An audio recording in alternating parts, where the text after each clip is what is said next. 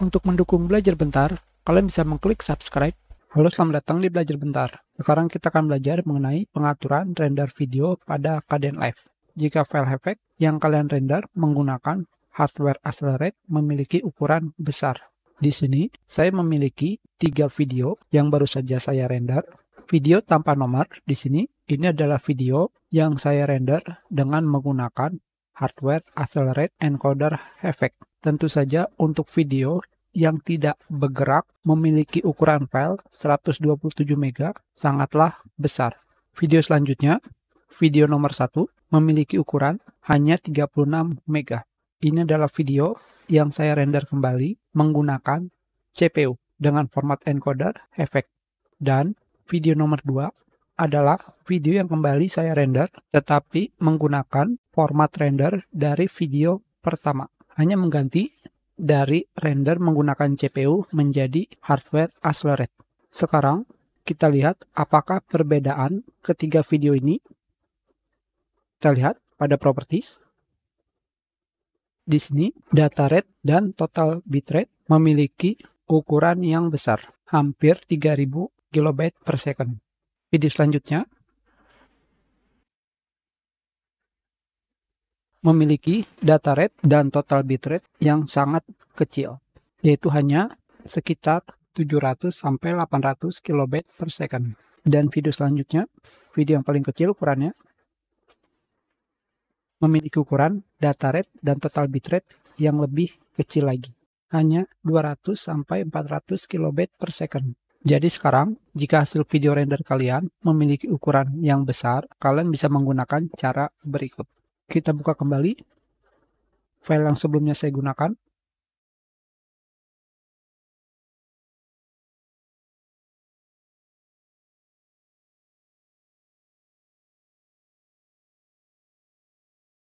Video ini hanya memiliki durasi sekitar 6 menit. Sekarang, kita akan hapus hasil videonya. Dan kita render kembali.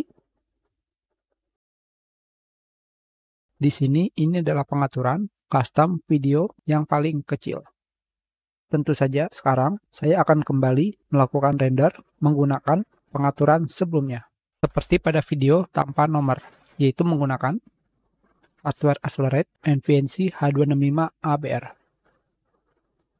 Kita ganti nomornya tanpa nomor dan kita pilih render to file. Kita tunggu sampai proses render selesai.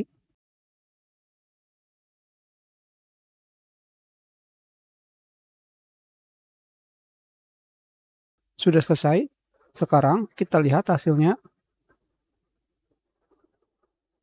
Seperti yang kalian lihat di sini, file yang kita render memiliki hasil ukuran 127 MB. Kita lihat properties detail memiliki data rate dan total bitrate yang sangat besar, yaitu sekitar 3000 kbps. Sekarang kita akan menggunakan custom render dari format MP4 H265 Effect ini. Pengaturan yang ini. Tentu saja pengaturan ini kita buang.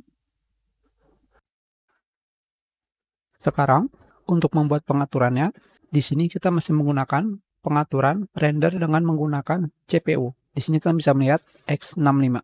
Untuk merubah menjadi encoder hardware accelerate, kalian bisa pergi ke menyimpan pengaturan yang sekarang menjadi custom. Selanjutnya di sini kalian berikan nama, misalkan custom. Selanjutnya di sini kalian rubah kodeknya dari libx265 menjadi efek NVNC dan kalian pilih OK. Hanya seperti ini saja.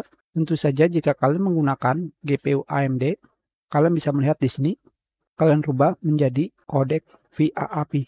Dan sekarang kita coba render kembali.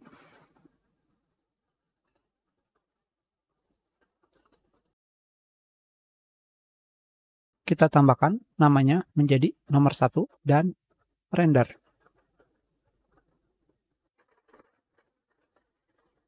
Terjadi error, interlace encoding tidak didukung. Kita kembali ke pengaturannya. Di sini kalian pilih Edit Preset. Dan kalian ganti pada bagian scanning dari interlace menjadi progresif. Pengaturan yang lain tidak perlu kalian ganti. Kalian pilih OK. Dan kita render kembali.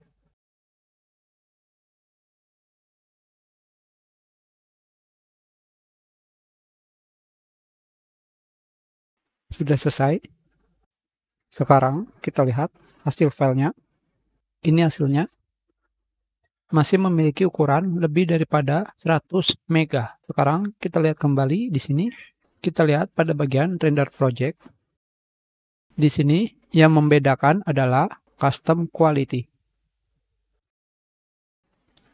Kita kembali ke pengaturan.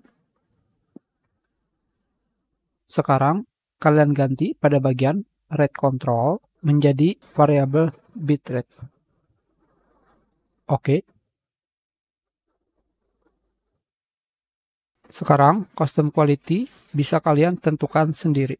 Kembali kita render. Kita ganti namanya. Kembali kita render.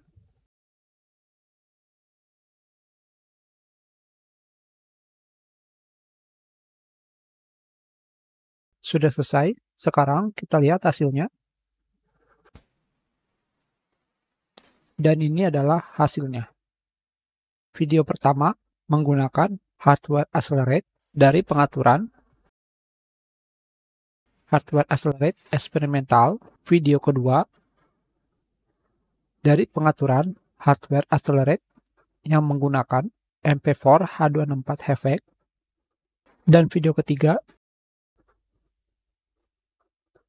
adalah video yang menggunakan pengaturan hardware accelerate dengan menggunakan custom quality.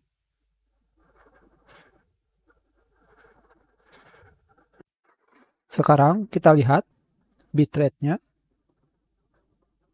Di sini data rate dan total bitrate hampir 3000 kilobit per second.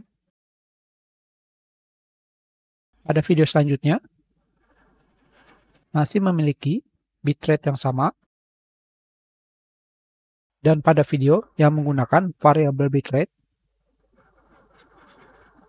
memiliki bitrate yang kecil, hanya sekitar 200 sampai 400 kilobit per second. Itu adalah cara pengaturan render video pada keadaan live jika file effect yang menggunakan hardware accelerate memiliki ukuran yang besar.